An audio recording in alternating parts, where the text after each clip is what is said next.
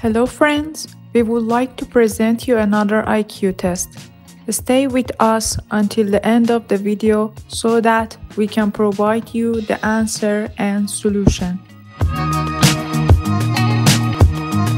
To solve this intelligent test and get the number of the center of the circle, the sum of the odd numbers must be subtracted from the sum of the even numbers.